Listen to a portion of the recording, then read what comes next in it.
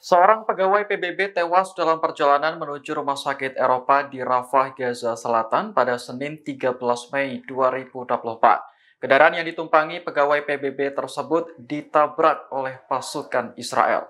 Sekjen PBB Antonio Guterres melalui juru bicaranya Farhan Haq mengaku sangat sedih atas kematian pegawai tersebut. Korban adalah anggota staf Departemen Keselamatan dan Keamanan PBB.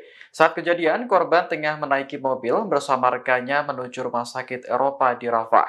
Namun, kendaraan mereka justru ditabrak oleh konvoi pasukan Israel. Hak tidak menyebutkan identitas maupun keluarga negaraan pegawai PBB yang tewas tersebut. Menurutnya, ini adalah korban internasional pertama bagi PBB sejak Perang Gaza dimulai. Sebelumnya, sekitar 190 pegawai PBB asal Palestina juga telah terbunuh. Sebagian besar korban bekerja di Badan PBB untuk pengungsi Palestina. Atas insiden terbaru ini, Sekjen PBB mengutuk Israel dan menyerukan penyelidikan penuh. Deeply learn of the death of a United Nations Department of Safety and Security staff member, an injury to another DSS staffer when their UN vehicle was struck as they traveled to the European hospital in Rafah this morning. The Secretary General condemns all attacks on UN personnel and calls for a full investigation.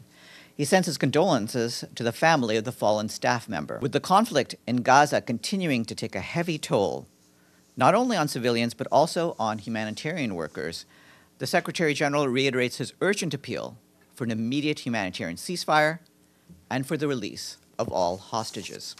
Download Tribun X sekarang, menghadirkan lokal menjadi Indonesia.